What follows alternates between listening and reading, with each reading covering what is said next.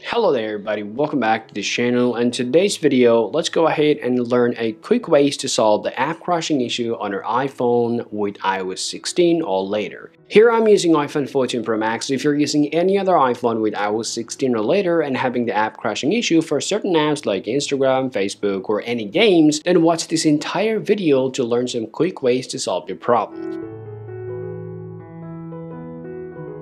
Now, app crashing problem can happen for multiple reasons. It can be happen for storage and can happen for software bugs or glitches. But to solve the problem, the first all you have to do just go ahead and open up your iPhone settings. Then you want to scroll down to general. Once you come over here, you want to simply tap on iPhone storage. And the very first thing that I'll go ahead and tell you guys to take a look at is your storage level. Now, if you see your storage is running out, then all I recommend you do, do just go ahead and delete some unused apps or unused files or pictures and videos from your iPhone to solve your problem. Now, let's say you have available storage on your iPhone but still you have a problem with your app crashing, then all I want you to do, come back to your iPhone storage and look for the application that you're having problem with. Now, let's say for me, if I have problem with Instagram, all I have to do, I have to open up that specific application here, and then I have to tap on Offload App, tap Offload App, wait around some time, and make sure you're connected to a strong internet. And after that, just tap on reinstall the app. Once the application got reinstalled, open up this app and check out the problem. Now, let's say you did all of those, but still they have the same problem here. The next thing that you want to do, you want to just simply head over to your settings one more time. You want to scroll down to general again, and this time you want to tap background app refresh. Now, first, all I want you to do is just go ahead and toggle up all those applications from here and turn all of those things back on again. Now, after that, just go ahead and tap on background app refresh and make sure to choose this option called Wi-Fi and cellular data. Or if it's already selected, just choose turn off or just off, just tap Wi-Fi and cellular data, get out of here and check your problem. Now let's say you did all of that but still you have the crashing issues with that application here.